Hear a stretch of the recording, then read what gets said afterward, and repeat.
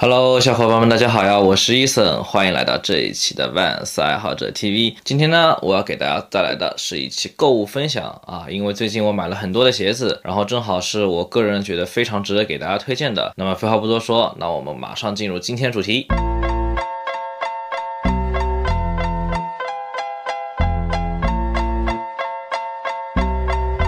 今天给大家带来的第一双鞋款呢，就是我手里的这双 OG Era。这双 Era 来自 Vans v o l t 高端支线。我们先来看一下这双鞋面的材质，鞋头处的黑色呢，用的都是非常高端的麂皮，包括鞋舌跟鞋后跟。青绿色的鞋身侧边呢，使用的都是非常非常柔软的麂皮材质。鞋身侧边使用了非常高端的青绿色皮革。在这里呢，我来跟大家说一下，其实这双 Era 的配置已经真的是在 Vault 里面已经算非常高了。因为你一般性常见到的 Era 里面，基本上都是麂皮配帆布，而这双 Era 呢，使用的是麂皮配全皮革的这么一个配置，请大家再看一下。更重要的是，这双 OG Era 的发售价只要六百五十元，所以说如果大家要购买的话，请赶紧了，因为在前段时间呢，已经上。加了 Vans Vault 直线的授权店铺，还有 Vans 的官网，所以说请大家多多留意。接下来呢，就是我们节目传统的评分环节了。那么对于这双全新的 OG Era，你们会给它几分呢？一至十分，打在弹幕上告诉我。今天给大家带来的第二双鞋款呢，就是我手里的这双在2019年发售的黑蓝 OG Era。那我们就先来说说这双黑蓝 Era 的材质吧。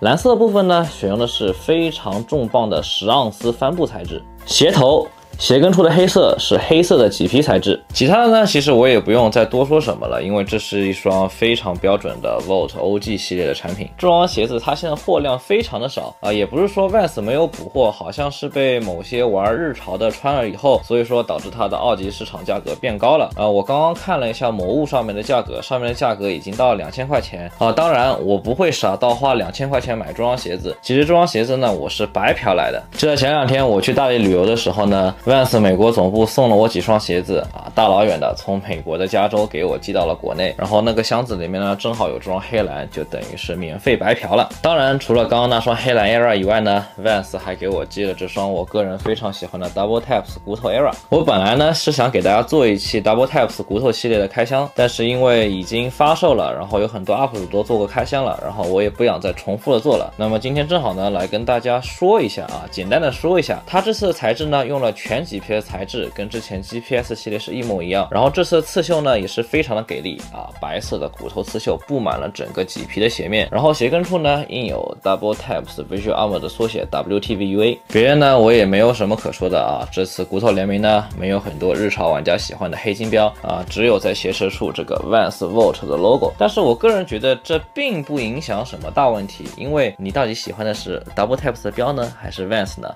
啊，当然，因为我是一个喜欢 Vans 的人。所以说这次的联名对于我这个 Vans 粉来说，我个人是非常喜欢的。这双 Era 从版型、做工、包装跟配置方面来说，我根本找不出任何毛病。唯一一点让我比较不喜欢的呢，就是它这个减配的鞋带。买过一六年 Double Taps 联名的小伙伴肯定会发现，在一六年的 Double Taps 系列的联名中，他们每双鞋子呢都会配有两副鞋带，而这次联名呢。只有这一副光溜溜的黑色鞋带。如果你们跟我一样不喜欢这副黑色鞋带，其实它是有解决方法的。当当当当，这个方法呢，就是把另外一双 OG Era 的白色鞋带拆下来装到这双鞋上。不知道大家是喜欢我手里这双白色呢，还是原装的黑色鞋带？